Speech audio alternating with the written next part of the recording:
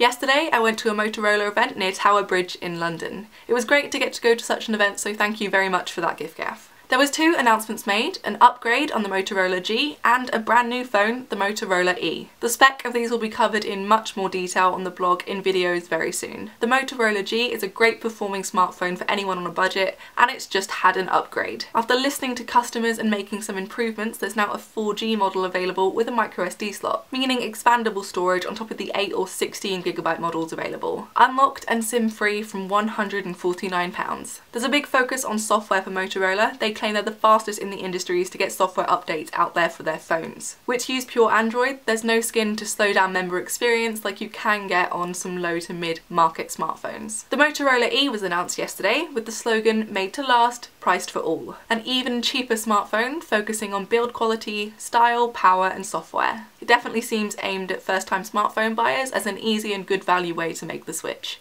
In the announcement, it was compared to the Samsung Galaxy Fame as they're in a similar place in the market. Compared to the Fame, the E has 52% more battery, a 23% larger screen at 4.3 inches, which is 55% brighter. They even claim that the E can launch its camera 1.7 seconds faster than the Samsung Galaxy S4. It has Gorilla Glass, is splash resistant and has a guaranteed major Android update. All seem very impressive with a low price of £89, unlocked and SIM free. There's a new feature, of the Motorola Alert, which debuts with the Motorola E, allowing you to notify designated friends and family of your location. This could be helpful if you need to let someone know that you've got home safely or where you need to be picked up from if you're getting a lift. There's also an emergency mode with an alarm and a pre-decided number to call. I've seen a few safety apps around recently and I think they're a great concept. It's really good to see an established brand recognised as potential new use for smartphones. It could be helpful for peace of mind about elderly parents or any teenage kids. With the current average price of a smartphone being £272, they are considered a luxury. Do you think that these two budget-friendly announcements could help change the face of the market a little bit? Let me know what you think, let's discuss this in the blog comments. I've been Zoe vlogging for giffgaff, until next time.